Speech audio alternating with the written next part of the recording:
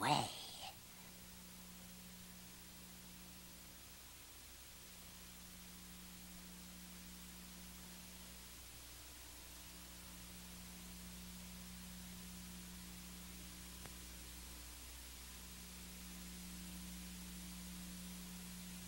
Flotsam, jetsam, you divine little vipers.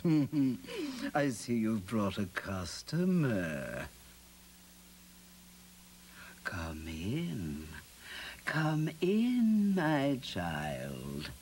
We mustn't lurk in doorways. It's rude. One might question your upbringing. My, my, how you've grown. The last time I saw you, you were scarcely a minnow. Is this how they're wearing their hair back at the palace nowadays? Of course, I wouldn't know. I've been banished forever by your dear old daddy, reduced to living in this wretched hovel for all eternity. And for what? Because I was ambitious? Because I made a few pitiful attempts to elevate my station in life? You tried to overthrow my father. Oh, these things get so blown out of proportion. At any rate, I've reformed. I only do good these days. Now then, you're here because you have a thing for this human, this uh, prince fellow. Not that I blame you. He is quite a catch, isn't he?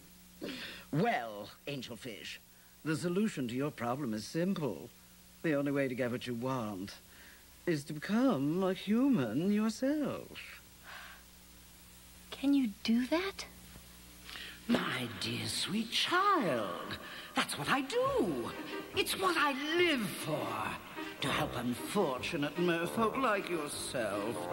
Poor souls with no one else to turn to. Hmm. I admit that in the past I've been a nasty. They weren't kidding when they called me, well, a witch. But you'll find that nowadays I've mended all my ways. Repentance seen the light and made a switch. True, yes! And I fortunately know a little magic. It's a talent that I always have possessed.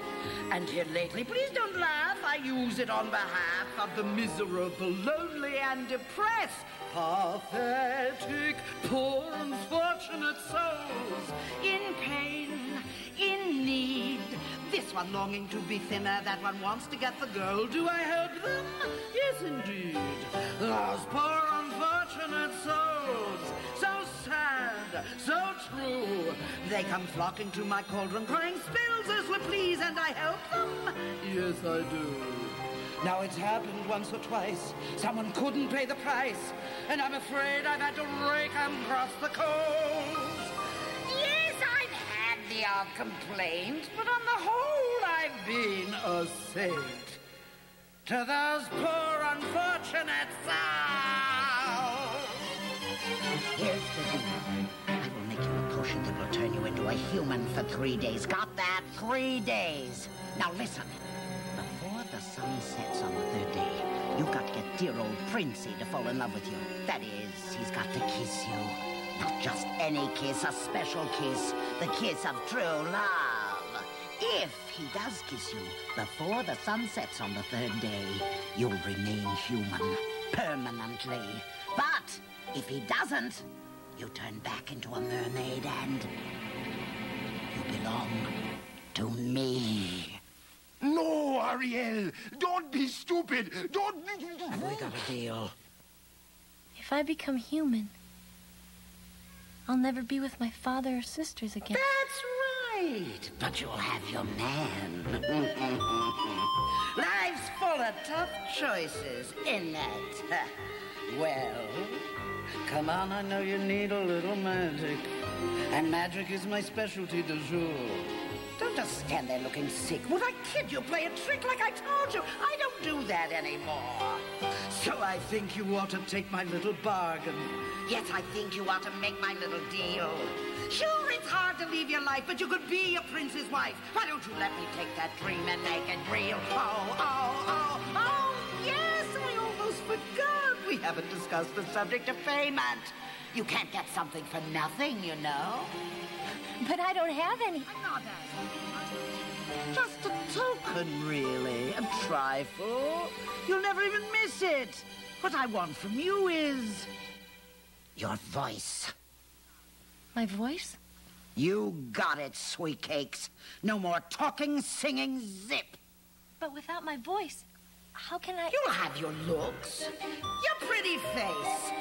And don't underestimate the importance of body language. Ah, the men up there don't like a lot of blabber. They think a girl who gossips is a bore. Yet on land it's much preferred for ladies not to say a word. And after all, dear, what is idle prattle for? Come on, they're not all that impressed with conversation. True gentlemen avoid it when they can. Don't intrude fawn on a lady who's withdrawn. It's she who holds her tongue who gets a man. Come on, you poor unfortunate soul. Go ahead, make your choice. I'm a very busy woman and I haven't got all day. It won't cost much. Just your voice. You poor unfortunate soul. It's sad, but true. If you want to cross a bridge, my sweet, you've got pay the toll. Take a gulp and take a breath and go ahead and sign the scroll. Flotsam, jetsam, now I've got her, boys. The boss